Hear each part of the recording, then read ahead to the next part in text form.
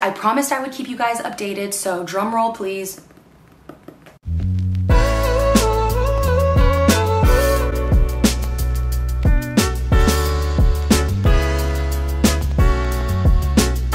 Hello you guys, welcome back to my channel. My name is Paloma if you're new here.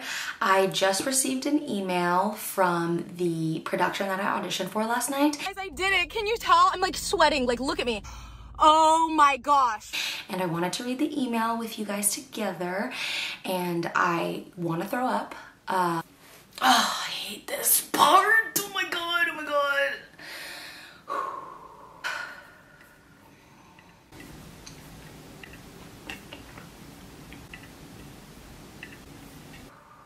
Dear auditionee, thank you so much for your interest in the Addams family through that theater. We greatly appreciate the time and effort spent preparing and auditioning for this upcoming show. We had a great turnout of talented actors. After reviewing all the performances we had at this time, you were not chosen to perform for the production of Addams Family. Please know that casting was competitive and we encourage you to continue to audition with us in the future. We thank you again for coming to our theater and for sharing your talent with us. We wish you the best of luck in your future endeavors. So that was a rejection email, my friends. Those are the kind of emails that actors just like! Of course everyone was talented, of course. Obviously, I really, really wanted to go to callbacks. Um, just so I could make it to that step and really get to sing some of the Addams Family songs and really show them what I can do in that character. I'm trying to be honest with you guys in this moment, like how I'm feeling, and I can just hear my brain like, oh, if only I wouldn't have like gotten off the music or the pianist wouldn't have messed up and like it wouldn't have messed up the audition or like what if, what if that. I'm happy in what I gave last night, but I know it could have been better, which is what's like, I think hurting so much because that was not the best audition I could have given. Like, oh, if that mess up wouldn't have happened and if like you and the pianist would have just been together. But that's just showbiz. When you show up and you hand that music off, that is the first time you are ever running through that song with that person. That's like the first time. You only get to show up and be like, hey, I'm singing this song from here to here, and the tempo goes like this. Like, so yes, I can catch myself and beating myself up in the little details, but that is just like how auditioning is, and that's why you have to audition all the time because it's an exercise. You have to be able to catch yourself when the pianist and you are not on the same time. Like, that is not the first time that has happened to me. I promise you, it will probably not be the last. Like, that's just the nature of this. It's all about just being prepared. So, in whatever situation happens, like the last audition I went to, I was singing my song and then I cut because that was like the 32 bars. And then the pianist then looks over me and goes, Keep going.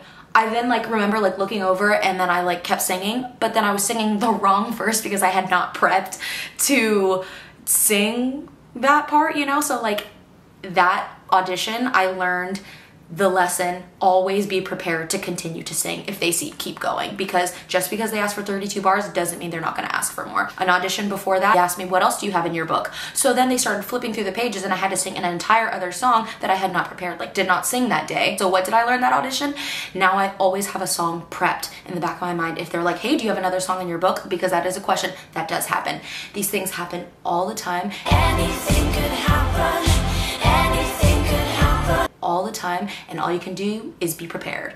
And that's what i'm gonna do just get myself so dang prepared so i can get myself in a show so you guys can come with me backstage and i can show you all the cool stuff. Because that's what we need. We need to be in a show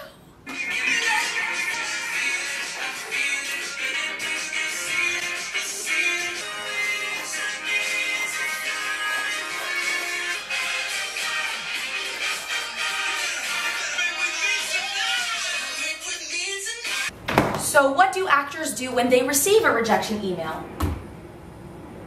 Well, a couple of things. Actually, it honestly probably depends like the cut, you know, because for this scenario, I didn't go in like weeks and weeks of preparation and working with my coach and working with my teachers and really just like only focusing on this and just like picturing what it would be like if I get the role, which I do accidentally do when I am like in callbacks. There are times when you prep for an audition and you just visualize yourself getting it and you can see what your life would be like if you receive it. And it's those callbacks slash auditions that it you need like a little minute as an actor to recover from it because like you put so much of your heart and your emotions and everything on the line that rejection hurts a little you know but that is the number one thing we are constantly always getting no's but when you get that yes so so good quick little shower rinse off the experience away and just treat myself to a little nice beverage. This rejection didn't hurt so bad, so there's no tequila in this one. Just like a little drink to make myself feel good.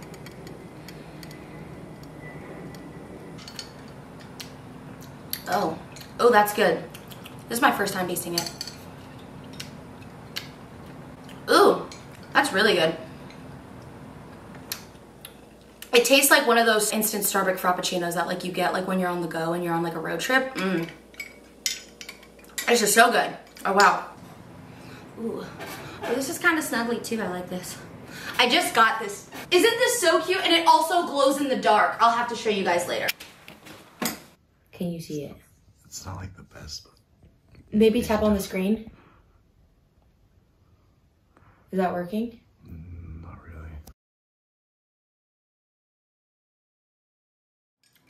So what's next? And honestly, this is a question us actors are constantly asking ourselves. Even when we're in the middle of a project, we're like, so what's the next audition? What's happening next? And I think that that's what's so sad and beautiful about this work is that you basically turn in your whole heart and your being and your emotions and your everything into this character and this experience and this art and then it just kind of ends. Then the show closes and it's that question of what's next? What's the next audition? And let me tell you, people are always asking, what's the next audition? And you know what? I would like to say on behalf of all your actor friends that we love how supportive you are, but it is a little stressful when you guys ask us, when's the next commercial? When's the next movie? Babe, I promise you, as soon as I book something, I will let you know. So my brain is just like in that fight or flight state where it's just like, okay, what's next? Doesn't end here, so let's find our next thing. And I know I'm not in the place to go audition, but I just want to see that there are other opportunities out there. Like just looking up audition breakdowns after getting a rejection gives you like that glimmer of hope, like, oh right, there are still other opportunities out there for media audition. I'm gonna do a little bit of scrolling through Facebook and see some upcoming musical theater auditions just to see what's going on and what's happening around here. But I also like, in addition to Facebook, which so interesting, yes, Facebook. I use Facebook for finding auditions. I don't use Facebook for anything else. They always make Facebook groups. So Facebook is a great place to go and look up auditions. Like literally type in the title of the musical, The Little Mermaid 2023 musical theater auditions. Pull that up and you'll start seeing pages, conversations, and stuff like that. That is a great place to find auditions. And I also like to use the platform Backstage as well as Actors Access. Here is a little peruse of the back end of Backstage where you can search popular acting, voiceover, modeling. Oh my gosh, content creator jobs too. That's new. Oh my gosh, that shows you how long I have not been on the site. Um, you can filter out through gender, location, age range, and all that good stuff that is on your resume. Uh, so if you have an account, you just like sign in. If not, you can just search through freely. But if you want to do more than that and not only view the open calls that they have that you can attend in person and want to submit to some of these roles, you will need to sign up for an account on Backstage. I actually have an account with Actors Access because that is where my agent submits me for other projects for film, TV, and commercial. I quickly took a screenshot of the strike compliant roles available notification that popped up when I signed into Casting Networks, basically saying, Did you know that SAG-AFTRA strike doesn't affect all projects? Um, and they're probably letting you know that because that was a big misconception going around when the first when the strike first started. So they have emailed out and posted this quick guide on their website about what projects us actors are able to work on, as well as what we should follow in so we can be in support of this strike. What I actually need to do is reach out to some photographers and see if I can film like the behind the scenes while I'm getting them done. Since I'm looking to do a whole behind the scenes, I wanna make sure that I reach out to like a couple of photographers and make sure that they're comfortable with it. I'm gonna reach out, do a little feelers, and see if anyone gives me the green light so we can go get these headshots done. Reached out to some photographers and pitched some dates to get on the books. And I actually also received an email about a notification of a theater season letting me know that they're actually gonna be doing All Shook Up like next summer. So I was like, oh my gosh, that's like a huge bucket list audition for me.